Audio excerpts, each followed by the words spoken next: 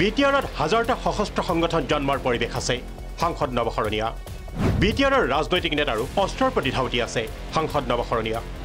কোনো লোকঢাক নকৰাকৈ এই কথা ক'লে কোকৰাঝাৰ সমষ্টিৰ সাংসদ নৱশৰণীয়াই। বি পি এফৰ নেতা তথা প্ৰাক্তন বিধায়ক হিতেশ বসুমতাৰীৰ ঘৰৰ পৰা অস্ত্ৰ শস্ত্ৰ উদ্ধাৰৰ প্ৰসংগত নৱশৰণীয়াই মন্তব্য কৰে। বি টি আৰত ৰাইজ তথা নেতাৰ অস্ত্ৰৰ প্ৰতি ধাউতি হেনো এতিয়াও আছে। যে আজিও বি টি চিৰ ৰাজনৈতিক নেতাই হওক বা সৰ্বসাধাৰণ মানুহৰ মনত অস্ত্ৰৰ প্ৰতি যিটো ধাউতি সেইটো কিন্তু এতিয়াও আছে। এইটো কিন্তু শুভ লক্ষণ নহয়। সাংসদ নৱশৰণীয়াই আৰু কয় প্ৰাক্তন বি এল টি আৰু এন ডি এফ পি এতিয়া ক্ষোভিত। পুনৰ উঠিছে পৃথক বড়োলেণ্ডৰ দাবী। বি টি আৰত এতিয়াও বহু সশস্ত্ৰ সংগঠন জন্ম হোৱাৰ পৰিৱেশ আছে। প্ৰাক্তন আলফা নেতা তথা বৰ্তমানৰ ৰাজনৈতিক নেতা নৱশৰণীয়াই ইয়াৰ সপক্ষে যুক্তিও দিয়ে।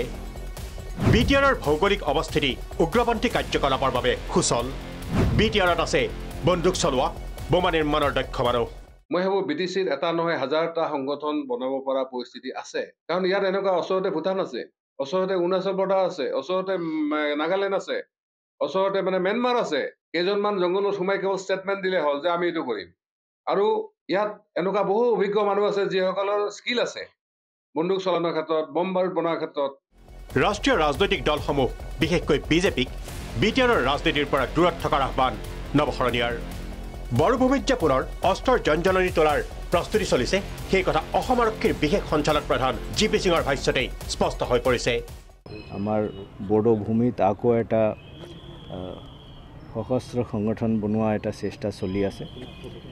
সেইটোৰ পিছত আমি যথেষ্ট মনিটৰিং কৰিছিলোঁ। মনিটৰিং কৰি আমি কিছুমান মানুহৰ নাম পাইছিলোঁ যিখিনি মানুহে তেনেকুৱা এটা সংগঠনৰ যোজা চলাইছিলে আৰু কিছু আৰ্মছ হয়তো দিছিলে আৰু কিছু আৰ্মছ দিয়াৰ প্ৰতিশ্ৰুতি দিছিলে।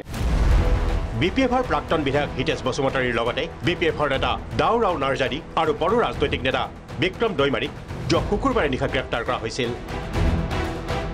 অবৈধ অস্ত্ৰ মজুত আৰু উগ্ৰপন্থী কাৰ্যকলাপৰ পৰিকল্পনাৰ অভিযোগতেই গ্ৰেপ্তাৰ কৰা হৈছিল তিনিওজনকে।